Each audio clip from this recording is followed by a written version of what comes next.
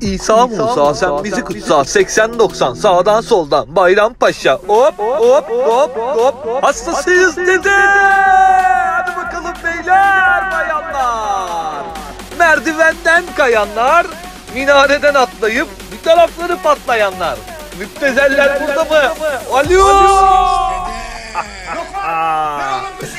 Ulan yemin ediyorum var ya yani yatacak yerimiz yok. Her gün bayız, her gün bayız, her gün bayız. Baba nereye kadar ya? Buna can dayanmaz be. İnsanların önceden ellerinde bir alkolleri vardı, bir sigaraları vardı. Şimdi tabii Türkiye'deki şeye göre konuşuyorum ben, ekonomiye göre konuşuyorum. Alkol almak Türkiye'de ciddi anlamda pahalandı. Alkol almak ciddi anlamda Türkiye'de pahalanınca insanlar kendilerini kumara verdiler. Yani kumar oynamak ciddi anlamda daha ucuz. Yani çünkü neden? Kumarı 5 liralık da oynayabiliyorsun, 10 liralık da oynayabiliyorsun, 2 liralık da oynayabiliyorsun, 3 liralık yani oynayabiliyorsun yani. Ama mesela herhangi bir alkolün belli bir fiyatı var. O parayı vermek zorundasın. İnsanlar o yüzden kendini kumara verdi abi. Daha kötü bir şey oldu. Yanlış mı düşünüyorum bilmiyorum. Yorumlarda belirtebilirsiniz. Şimdi gelelim biz mevzumuza. Arkadaşlar 90 artı kanalında 100 kişi ara.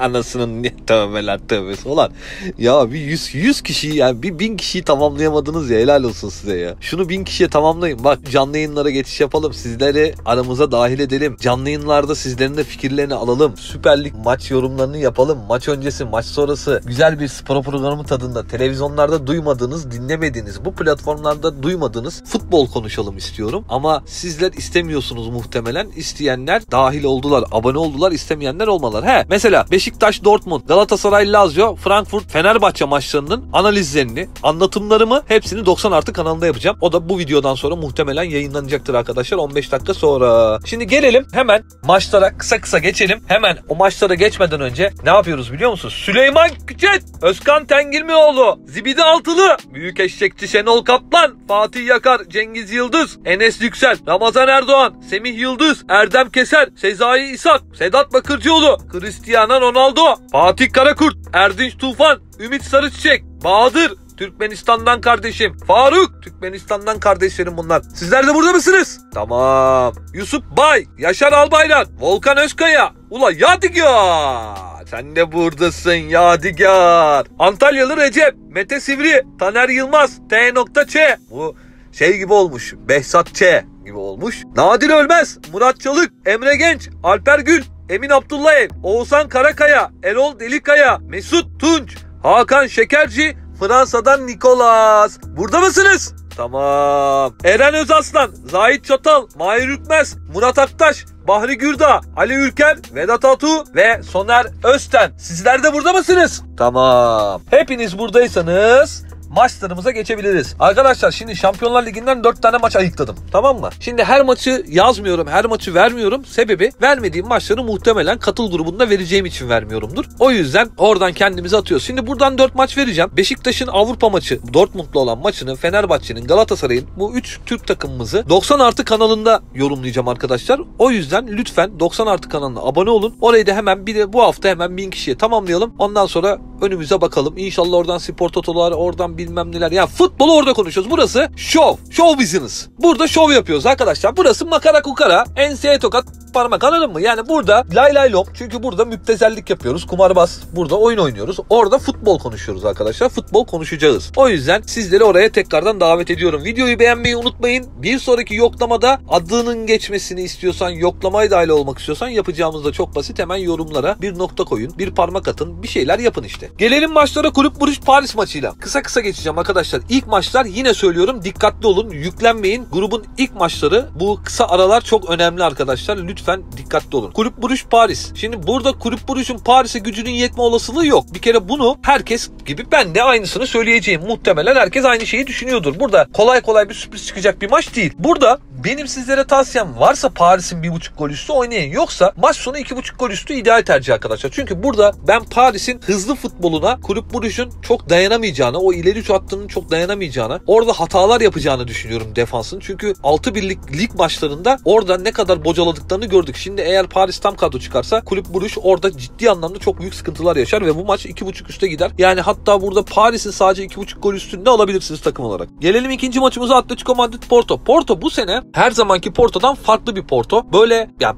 Portekiz'de Benfica'dan şimdi Lisbon'dan sonra bence 3. sırada oynadığı futbolla izlediğim kadarıyla. Porto eski Porto değil. Porto'da biraz değişimin olması gerekiyor. Anladığım kadarıyla bu ekonomik finansal durum Porto takımlarını da etkilemiş ki hayret onlar hep alsat yaparlar. Ama gözle görülür bir şekilde Porto bu sene Lisbon ve Benfica'dan aşağıda futbol oynuyor. Şimdi Atletico Madrid Simone'yi biliyorsunuz. Simone Şampiyonlar Ligi'nde özellikle kendi evindeki maçlarda hata yapmayı sevmez. Ve bu maçta da hata yapacağını düşünmüyorum. O yüzden Atletico Madrid'in bir üste çıkması için, şampiyonluğunu perçinleyebilmesi için Atletico Madrid şimdi böyle bir dönemde yukarıya çıkmak, oynamak isteyecektir ve gruptan çıkmak isteyecektir. Rakiplerinden biri de Porto. Burada Porto'dan 3 puan almak isteyecektir ve maç sonu bir öneriyorum. Lisbon Ajax'a geldiğimizde şimdi ben burada herkesin aksine Lisbon'dan bir sürpriz bekliyorum arkadaşlar. Ama burada sizlere önereceğim maç sonu bir olmayacak. Neden? Çünkü şimdi bir Ajax var. Ne olursa olsun adı var. Ne olursa olsun burada oynamayı bilen bir takım var. Bir kulüp var daha doğrusu. Burada takımları baz almak yerine kulüplerin kültürleri buralara uyum sağladığı zaman sen futbolcuyu yeni transfer etsen de o takımın içinde oynuyor. Yani bunu mesela örnek verirsek işte Avrupa'dan işte Türkiye'de Galatasaray mesela. Yani bu şimdi Sivas biliyorsun oynuyor, Konya oynuyor, Alanya oynuyor işte Trabzon ilerleyemiyorlar. İlerleyememenin nedeni burada Avrupa'da oynamanın kültürü başka arkadaşlar. Cidden başka. O kültüre alışık bir Ajax var. Ama ben oynadığı futbolu gerçekten çok beğendiğim bir Sporting Lisbon var ve ben Lisbon'un sürpriz yapabilme ihtimalini düşünüyorum. Ama burada benim sizlere önereceğim bahis karşılıklı gol var. Yani Lisbon bana göre Ajax'a karşı mutlak surette bir gol bulacaktır. O yüzden ben Lisbon Ajax maçında sizlere önereceğim tercih karşılıklı gol var. Şimdi dördüncü maçımız hani anlattım ya işte bir Avrupa oynama kültürü var diyordum ya hani Ajax için. İşte aynı kültür mesela bu maçta Şerif Shakhtar maçında Shakhtar'a var. Şimdi Shakhtar buralarda oynamayı iyi bilen bir takım. Stilerle, Real Madrid'lerle, Inter'lerle, onlarla bunlarla. Şimdi Shakhtar'e rakip olabilecek bir takım değil Şerif. Biz Şerif'i elemelerde anlattık. Bu gibi takımlar kaybetmedikçe güçlenirler. Ve elemelerde bakın